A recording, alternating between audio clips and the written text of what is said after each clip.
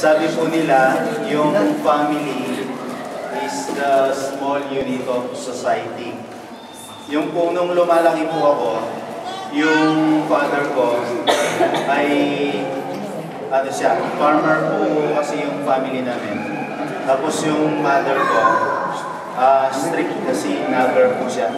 Marami po akong nakita sa kanila. Tapos hindi po sila ah, close na tulad ng typical na mag-asawa na nagyayakapan in public o kaya nagsisimba, magkakaret, magkasabay, something like that. Ano po yung gustong tulukin?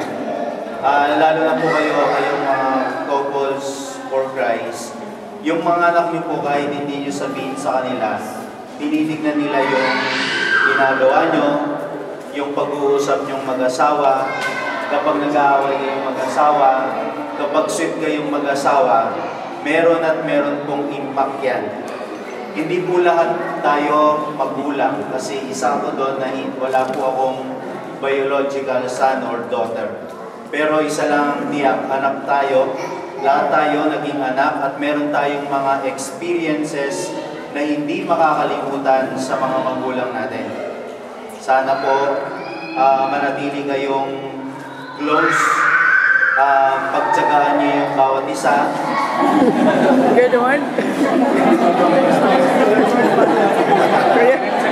May reaction doon. tulad po ng sinabi ko kahapon, sa, sa kasal po ninyo, nung bumuo po kayo, meron po yung laging kalakit na responsibilidad.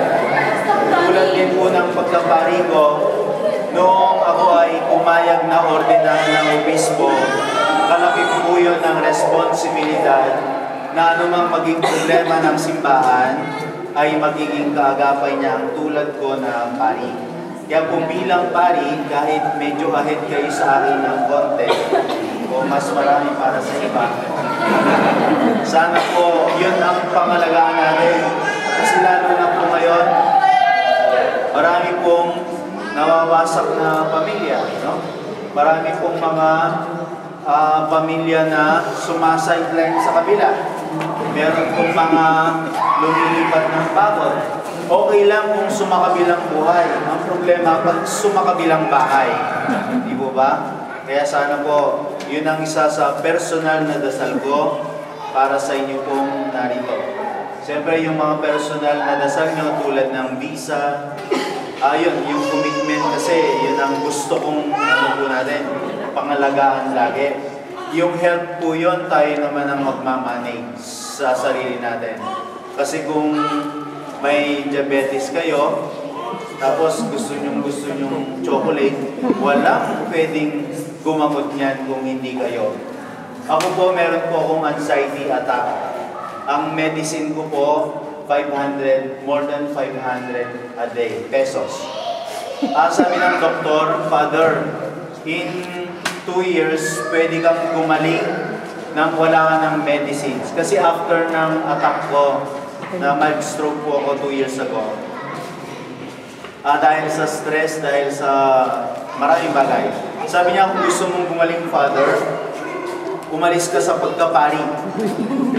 Kahit for two years lang. Pagkatapos pwede ka nang bumalik, magaling ka na. Pero hindi po pwede yun eh. Anong ibig ko sabihin?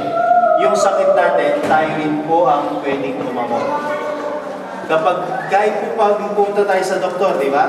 Anong sakit mo sasabihin ng doktor? Pag dininay natin yung sakit natin, hindi rin tayo magagamot. Kasi yung unang medicine, tayo, sarili natin. Na-stress tayo kasi yung asawa natin, nagiinom pa doon sa kasama yung kumari natin.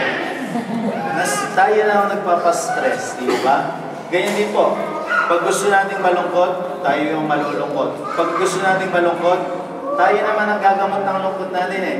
Pag gusto nating tumawa, tayo rin ang makagawa ng paraan para tayo tumawa. Tumawa. So, para tayo magmasaya. So, yun lang po. Hindi po yun kasama sa pinahulaan kong letter. So, yun po siguro. Tagalog na lang po dasal kasi marami